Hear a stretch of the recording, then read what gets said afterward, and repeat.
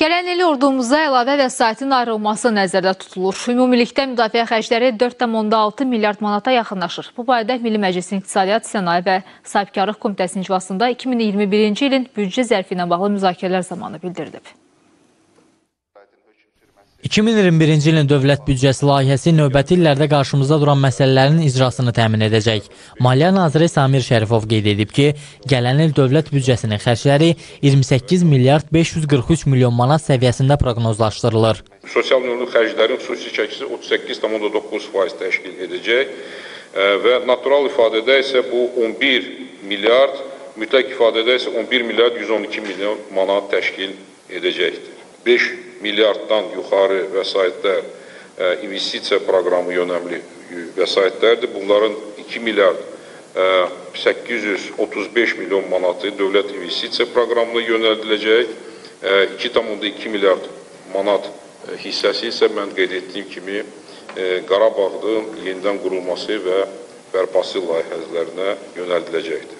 İqtisadiyyat naziri Mikayıl Cabbarov isə bildirib ki, 2020-ci ildə bütün mövcud çətinliklərə baxmayaraq, ölkəmizdə makroiqtisadi sabitlik daha da gücləndirilib. İqtisadiyyatın kiçilməsi müşahidə edilsə də, ölkə iqtisadiyyatı yüksək dayanıqlıq nümayiş etdirib. Bunu qeyri-neft sektoruna xüsusilə aid edə bilərik. Bununla yanaşı, işğaldan azad edilmiş ərazilərin bərpası, orada yaşayan insanların geri qayıtması, onların məşğulluğunun təmin edilməsi əsas vəzifələrdəndir. Əmək bazarında şəffaflaşma proseslərinin davam edəcəyini də nəzərə alaraq, orta ssenaridə 2021-ci ildə orta aylıq əmək haqqı 727 manat səviyyəsində proqnozlaşdırılır. Onu da qeyd etməliyəm ki, cari ilin 2020-ci ilin yanvar-oktyabr aylarında orta aylıq əmək haqqı məbləği 704,5 manat olmuş və ilin sonuna 702,4 manat olacağı gözlənilir. Növbəti il üçün inflyasiya səviyyəsi nəzərə alınmaqla yaşayış minimumu 196 manat, o cümlədən əmək qabiliyyəti əhali üçün 207 manat, pensiyaçılar üçün 162 manat, uşaqlar üçün isə 175 manat müəyyən edilməsi ilə bağlı qanun layihəsi hökumətə təqdim edilmişdir. Əmək və Əhalinin Sosial Müdafiəsi naziri Sahil Babayev isə deyib ki, növbəti illərdə 16 min ailənin özünə məşğulluğu təmin ediləcək.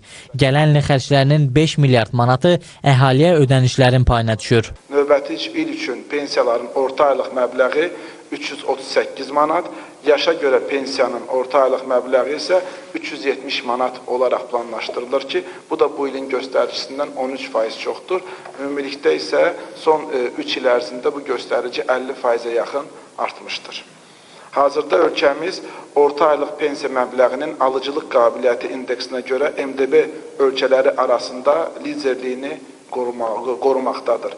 Ötən müddət ərzində 120 min nəfərə pensiya və müavinətlər elektron qaydada təyin edilmişdir. Elektronlaşma tədbirləri ümumi pensiya təyinatının 85%-ni, ümumi müavinət təyinatının isə 53%-ni əhatə etmişdir. Qeyd edək ki, gələn büdcədə nəzərdə tutulan sosial yönlü xərclər 2020-ci illə müqayisədə 563 milyon 800 min manat və ya 5,3% çoxdur. Büdcə zərfinə daxil olan qanun layihələri barədə fikir və təkliflərini bildirən millət vəkilləri müzakirələrdən sonra sənədi baxılmaq üçün parlamentin plenar iclasına tövsiyə etdilər. Xanlar Mehdiyev, Rüfət Əliyev, İTV Xəbər.